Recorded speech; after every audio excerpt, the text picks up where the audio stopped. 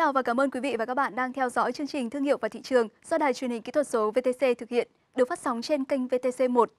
Nếu như cách đây hơn chục năm khi nói đến đồ gia dụng bằng nhựa, người tiêu dùng Việt sẽ nghĩ ngay đến các sản phẩm có xuất xứ từ Thái Lan, Nhật Bản bởi sự đa dạng về chủng loại, mẫu mã. Và thời điểm đó, các sản phẩm gia dụng nhựa của hai nước này gần như chiếm lĩnh thị trường tuyệt đối. Tuy nhiên, những năm gần đây, các doanh nghiệp sản xuất đồ gia dụng trong nước đã không ngừng đầu tư vào dây chuyền sản xuất, ứng dụng công nghệ để đưa ra các sản phẩm gia dụng nhựa mẫu mã đẹp, chất lượng tốt, sẵn sàng cạnh tranh với các sản phẩm ngoại nhập. Trong chương trình ngày hôm nay sẽ là câu chuyện về sự vươn lên của doanh nghiệp sản xuất đồ gia dụng nhựa Made in Việt Nam. Còn bây giờ sẽ là một số thông tin đáng chú ý ở mục thị trường và tiêu dùng.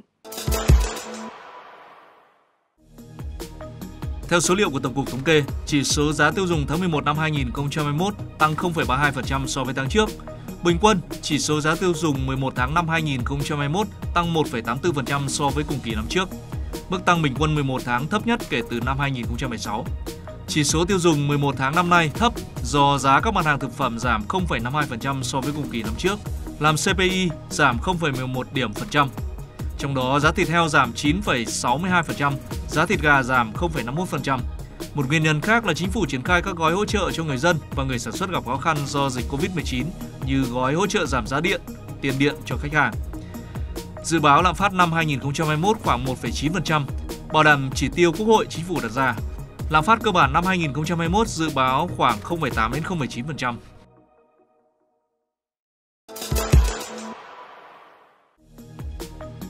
Không chỉ ảnh hưởng sâu rộng lên diễn biến giao dịch trên thị trường, dịch Covid-19 còn tác động rất nhiều đến lựa chọn căn hộ của người mua.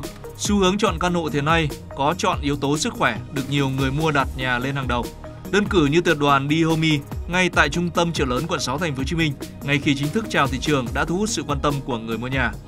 Với dự án căn hộ sức khỏe này, cư dân sẽ được trải nghiệm căn hộ không chạm, áp dụng công nghệ số để hạn chế tiếp xúc trực tiếp, thiết kế đón được ánh sáng tự nhiên và gió trời. Các tiện ích trực tiếp chăm sóc sức khỏe ngay tại không gian sống. Dự án được xây dựng trên diện tích hơn 5.500 m2 với hơn 400 căn hộ và dự kiến sẽ bàn giao cho cư dân trong quý 1 năm 2024. Thực tế khảo sát của CBRE tại thị trường các nước trong khu vực, giá bán các căn hộ sức khỏe thường cao hơn 20 đến 30% so với các căn hộ tương đương trong cùng một vị trí, nhưng vẫn có sức hút rất lớn với người mua.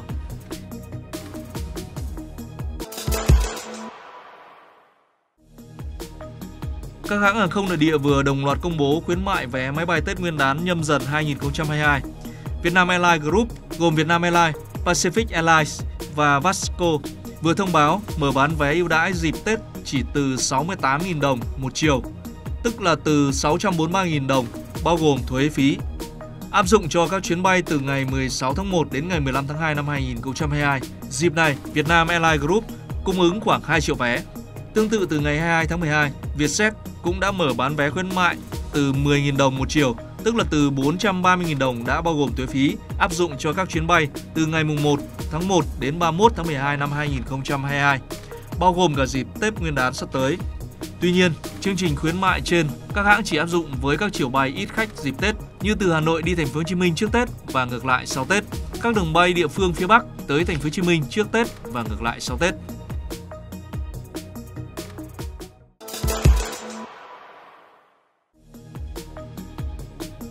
Theo ghi nhận, giá thịt lợn hơi trong những ngày gần đây trên cả ba miền tiếp tục tăng từ khoảng 1 đến 3.000 đồng 1 kg, cao nhất đạt 78.000 đồng 1 kg. Việc giá lợn hơi có chiều hướng tăng mạnh trở lại khiến người tiêu dùng lo lắng. Liệu giá lợn hơi có vượt ngưỡng 100.000 đồng 1 kg hay không? Hiện giá lợn hơi tại miền Bắc đang dao động khoảng từ 72 đến 78.000 đồng 1 kg. Giá lợn hơi tại miền Trung Tây Nguyên đang dao động trong khoảng từ 70 đến 73.000 đồng 1 kg. Còn giá lợn hơi tại miền Nam đang dao động trong khoảng từ 70 đến 72.000 đồng một kg. Nếu như trước kia các sản phẩm nhựa gia dụng tại Việt Nam có phần lép vế so với các thương hiệu nhập khẩu từ nước ngoài, thì trong những năm trở lại đây, thị trường đồ gia dụng trong nước đã có sự lột xác đáng kể, gạt bỏ những khó khăn trong nguồn nguyên liệu đầu vào và nguồn vốn nâng cấp hệ thống máy móc một số doanh nghiệp đã mạnh dạn lấn sân sang phân khúc cao cấp, mang đến cho người tiêu dùng Việt những sản phẩm gia dụng made in Việt Nam có chất lượng quốc tế, nhưng giá thành thấp hơn, phù hợp với túi tiền của các gia đình Việt. Câu chuyện của thương hiệu Inochi trong phần tiếp theo của chương trình sẽ cho chúng ta thấy cái nhìn cận cảnh hơn về sự chuyển mình này. Hiện nay trên thị trường không khó để chúng ta có thể tìm mua những sản phẩm đồ gia dụng làm từ nhựa. Thế nhưng nếu như không cẩn thận và không biết cách, rất dễ dàng chúng ta sẽ mua phải những món đồ làm từ nhựa kém chất lượng. Vậy làm thế nào chúng ta có thể lựa chọn những sản phẩm nhựa gia dụng vừa đẹp vừa bền lại có thể an toàn với sức khỏe của mình? Quý vị hãy cùng tôi tìm hiểu trong chương trình ngày hôm nay.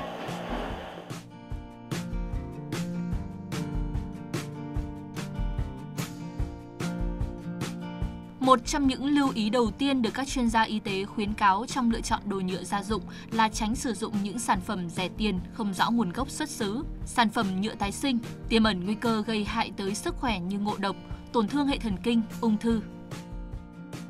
Thay vào đó, các sản phẩm nhựa gia dụng được sản xuất bởi các công ty có tên tuổi sẽ là lựa chọn an toàn hơn cho người tiêu dùng. Ở khi lựa chọn các sản phẩm gia dụng thì chúng ta lưu ý các sản phẩm có ký hiệu như AG cộng là sản phẩm được phủ một lớp ion bạc kháng khuẩn, kháng mùi, ký hiệu ờ, uh, PPA free không chứa chất độc hại, giải nhiệt rộng từ âm 30 độ C cho đến ờ, 140 độ C, vừa có thể cấp đông và có thể uh, vừa được được đồ ăn nóng, không làm biến đổi tính chất của nhựa và an toàn với sức khỏe người tiêu dùng. Chính thức ra mắt vào năm 2018, Inochi là một trong những thương hiệu nhựa gia dụng cao cấp được sản xuất bởi Tân Phú, doanh nghiệp Việt với kinh nghiệm 40 năm hình thành và phát triển. Đến nay, Inochi đang cung cấp ra thị trường hơn 200 sản phẩm gia dụng, bao gồm các dòng sản phẩm chính, kệ giỏ, hộp đựng thực phẩm, móc áo, sản phẩm mẹ và bé, sản phẩm tiện ích như bình đựng nước, khay đá, hộp gia vị, bộ thao rổ, thùng rác, Làm nên giá trị của thương hiệu là những sản phẩm chất lượng cao đáp ứng ba tiêu chí: nguyên liệu nhựa nguyên sinh cao cấp, chất lượng cao, tích hợp các tính năng kháng khuẩn, khử mùi, an toàn cho sức khỏe, thiết kế đẹp và tiện lợi.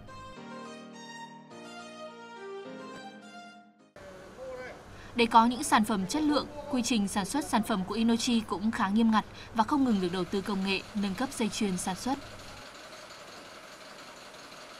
Nguyên liệu của chúng tôi là hiện tại là đang à, À, được à, nhập khẩu là chính. À, các nguyên liệu từ Singapore hoặc là UAE, Hàn Quốc 100% là nguyên sinh và được kiểm tra rất kỹ ở các tiêu chuẩn TCVN 12, tiêu chuẩn chấm 1. Tiêu chuẩn này đảm bảo các chỉ số kim loại nặng, chỉ số trì, những cái chỉ số cáu cặn. Đấy là những cái mà sẽ ảnh hưởng đến cái sức khỏe người tiêu dùng nên chúng tôi đặc biệt đưa cái vấn đề này vào kiểm soát. Sau khi mà nhựa là được chuyển từ nguyên liệu về khu vực sản xuất thì bộ phận sản xuất sẽ tiến hành là phối trộn nguyên liệu. Công nhân sẽ đưa những cái, ví dụ như yêu cầu về màu sắc, kháng à, khuẩn thì sẽ đưa vào trong cái quá trình mà phối trộn nguyên liệu. Cái thứ nhất là phải đảm bảo cái kiểm tra về cái nguyên lai, nguyên kiện của từng loại nguyên liệu. Thứ hai nữa là phối trộn phải đúng theo quy định. Thứ ba nữa là phải đảm bảo cái vấn đề vệ sinh, máy móc, thiết bị trong quá trình làm việc. Trong quá trình sản xuất thì phải xây dựng toàn bộ cái gọi là spec, tức là cái tiêu chuẩn về sản phẩm sau đó là xây dựng về cái à, công nghệ để công nhân có thể cài đặt và kiểm soát à, theo từng máy. Khi sản phẩm à, chạy ra thì cũng phải kiểm tra theo từng tần suất đã được quy định và đóng gói hoàn thiện. Ở đây thì chủ yếu là máy ép nhựa có từ cỡ nhỏ nhất là 120 tấn đến cỡ lớn nhất là 950 tấn thì sản xuất ra rất nhiều loại khoảng độ 200 cái SKU sản phẩm khác nhau.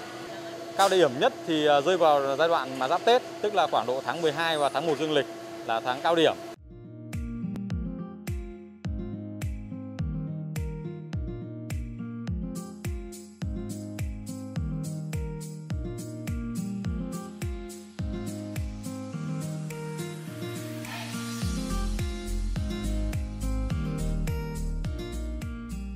Không chỉ chú trọng xây dựng sản phẩm nhựa gia dụng cao cấp, Inuchi còn là câu chuyện của một thương hiệu Việt đang nỗ lực khẳng định mình trên thị trường để cạnh tranh với các sản phẩm ngoại nhập.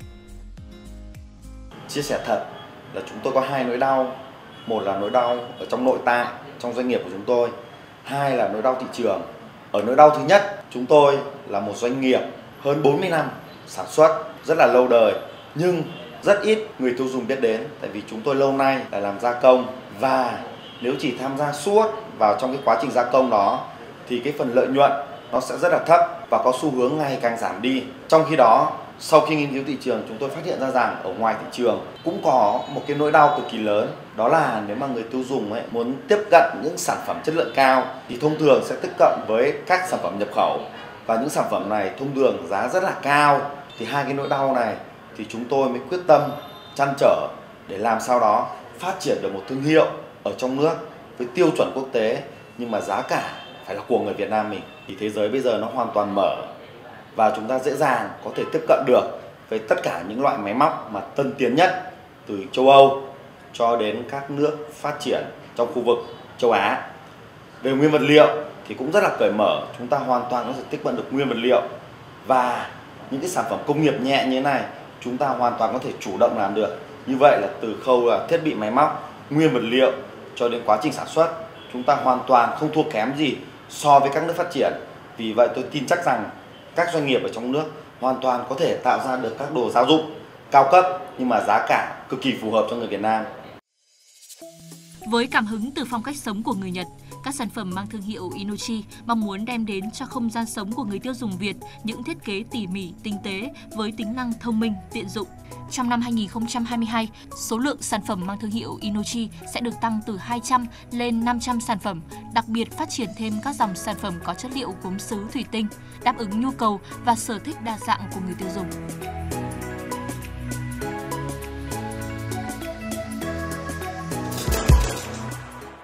Theo các chuyên gia, thị trường đồ nhựa gia dụng tại Việt Nam rất rộng mở với nhiều tiềm năng. Tuy nhiên, đa số doanh nghiệp trong nước vẫn e ngại đầu tư phát triển phân khúc sản phẩm cao cấp. Điều này xuất phát từ nhiều lý do, không chỉ từ sự cạnh tranh bởi các doanh nghiệp nước ngoài mà còn bởi phân khúc này đòi hỏi vốn đầu tư cao cho hệ thống máy móc nguyên liệu, giá thành sản phẩm cũng cao hơn.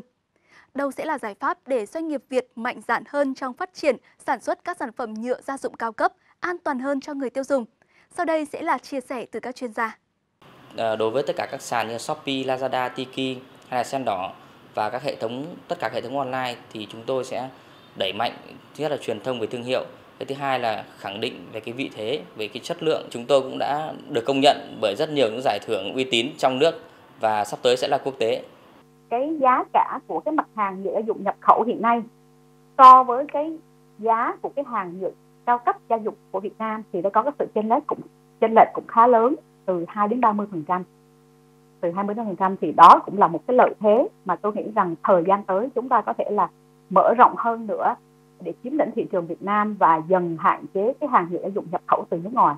Đối với bất kỳ doanh nghiệp nào cũng vậy, khi mà chúng ta muốn đầu tư vào một cái ngành hàng nào đấy thì chúng ta cần phải có những cái bước gọi là tham khảo thị trường, khảo sát thị trường, nghiên cứu thị trường rất là kỹ để mà chúng ta có những cái sự chuẩn bị chú đáo từ ban đầu và để mà sản xuất những cái sản phẩm nhựa cao cấp thì rất cần cái sự đầu tư lớn.